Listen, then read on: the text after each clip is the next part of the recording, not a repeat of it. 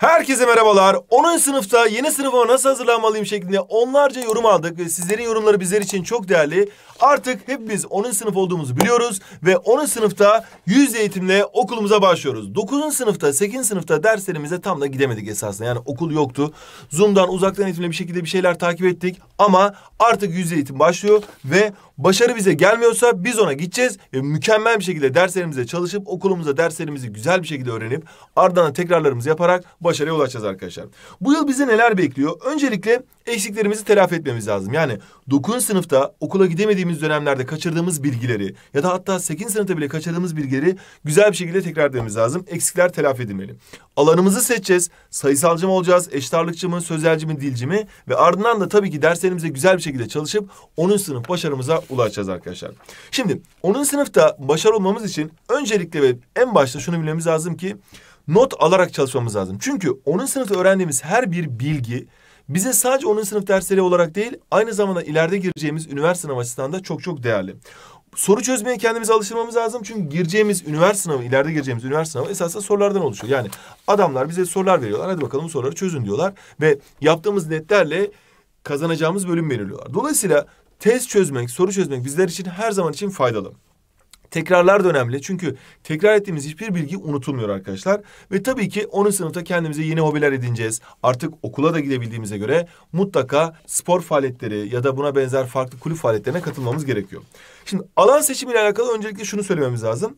Öncelikle kendinizi iyi tanımanız lazım arkadaşlar. Yani kendinize uygun olmayan bir alanı, araştırmadığınız bir alanı, çevrenize danışmadan ya ben bu olacağım, bunun dersleri kolaymış dediğiniz bir alan size ileride e, sıkıntı oluşturabilir. Biliyorsunuz ki sayısal, eşit ağırlık, sözel ve dil alanları var. Bunlarla alakalı size alan seçiminde çok güzel videolar hazırlayacağız. Bunun sözünü buradan verelim. Ama sizler de lütfen 10. sınıf kanalımıza abone olmayı unutmayın. Bizleri takip etmeyi unutmayın.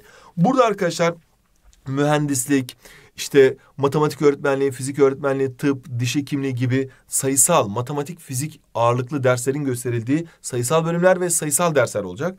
Eşit ağırlıkta matematik olacak ama yine tarih, coğrafya, edebiyat dersleri de eşit ağırlıkta olacak. Sözelde ise matematik falan yok. Fizik, kimya, biyoloji bunların hiçbiri yok. Tamamen sözel dersler. Yani tarih, coğrafya, edebiyat e, gibi sözel ağırlık dersleri göreceğiz. Felsefe gibi.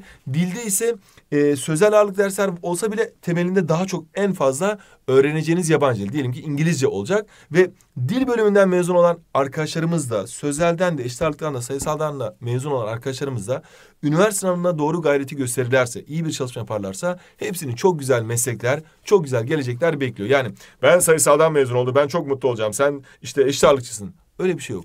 Eşit ağırlıktan çok güzel başarılara da ulaşabilirsiniz. Çok güzel mesleklere de ulaşabilirsiniz. Avukat olabilirsiniz, hakim olabilirsiniz, öğretmen olabilirsiniz. Sayısaldan mühendis olabilirsiniz. Sözelden yine öğretmen olabilirsiniz. Radyo, televizyon gibi farklı farklı bölümlere ilerleyebilirsiniz. Dilden de yine çok güzel bölümler. Mütercim tercümanlık, İngilizce öğretmenliği gibi. Zaten dil bilen bir insan her alanda başarılı olabiliyor. Bunu unutmayalım arkadaşlar. Her bir alanın kendince güzellikleri var. Şimdi eksikleri telafi etme kısmına geldiğimizde biliyorsunuz ki arkadaşlar şu çok çok önemli. Ee, üniversite sınavında ilk 10 bin 9. sınıf ve 10. sınıfa önem verenlerden olmuş. Bu yüzden arkadaşlar 9. sınıf konularını listeleyip eksiklerimizi bularak programlı çalışmamız gerekiyor. Çünkü 10. sınıfa geçtiğimizde alttan eksiklerimiz varsa onlar bizim kafamızı karıştırabilir. Dolayısıyla bizler hatta 9'dan 10'a kampımızda size bunu e, bunu telafi etmeye çalışmıştık. Eğer o kampımıza katılmadıysanız o kitapları alarak yeniden çalışabilirsiniz. Ya da kendiniz o kamp videolarını bir kez daha izleyebilirsiniz. Program yaparak çalışacağız ve test çözümüyle pekiştireceğiz. Biliyorsunuz ki programla alakalı bizim size her zaman söylediğimiz şey şuydu. Nedir arkadaşlar? Birincisi ve en önemlisi sizler arkadaşlar mutlaka ama mutlaka yıllık bir hedefiniz olmalı. Yani ben bu yıl mutlaka işte takdir alacağım, teşekkür alacağım ya da şu çalışmalar yapacağım şeklinde bir hedefiniz olmalı. Aynı zamanda aylık olarak da kendinize belirlediğiniz görevleriniz olmalı ve aynı zamanda günlük ya da haftalık ödevleriniz olmalı. Burada işte yapmanız gerekenleri tik atarak ilerlemeniz gerekiyor. Diğer türlü hedefiniz yoksa, görevleriniz belirlemediyseniz okuldan geldiğim gibi yatıyorum, televizyon açıyorum, dinleniyorum derseniz ileride gelecek başarıları kaçırmış olursunuz. Üniversite sınavı ile ilgili araştırmalar yapmanız lazım YKS ile ilgili. Meslekleri tanımanız lazım ve ilgi alanlarınızı belirleyip notlarınızı yüksek tutarak şimdiden hayallerinize ulaşmanız lazım. Bunu en başta da söylemiştik, az önce de söylemiştik. Üniversite sınavında başarılı olmuş öğrencilerin birçoğu 9 ve 10. sınıfa önem verenlerden oluşuyor arkadaşlar. Dolayısıyla sizler de üniversite sınavında başarılı olmak için mesela örnek veriyorum. Kendi dersinden örnek vereyim.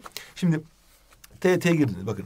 TYT'de arkadaşlar sorulara baktığımızda Noktalama işaretleri 5, 6, 7, 8, 9'dan beri hep gördüğümüz konular. Ama esas öğrencilerin veyahut da yazım kuralları veyahut da işte ne bileyim isim sıfat zamir zarf bunlar her zaman yaptığımız konular. Ama öğrencilerin esas elendiği, esas sınavda kim mühendis olacak, kim öğretmen olacak, kim doktor olacak, kim diş hekimi olacak, kim eczacı olacak, kim yazılımcı olacak. Bunu belirleyen kısımlar neler biliyor musunuz? Matematikte problemler kısmı, Türkçe'de de paragraf kısmı arkadaşlar. Bakın burada birçok uzun uzun paragraflar var ve bu paragraflarla alakalı şimdiden belirli bir çalışma düzenine, belirli bir çalışma rutinine giren öğrenciler veyahut da bol bol eee, soru çözen ya da kitap okuyan öğrenciler üniversite sınavlarında çok başarılı oluyorlar. Dolayısıyla sizler de YKS'de başarılı olmak istiyorsanız şimdiden kitap okumaya başlamalısınız. Hatta bununla alakalı şurada bir espri yaptım sizler için. Çok gezen değil, hani bizim sözümüz var. Çok okuyan değil, çok gezen bilir diye.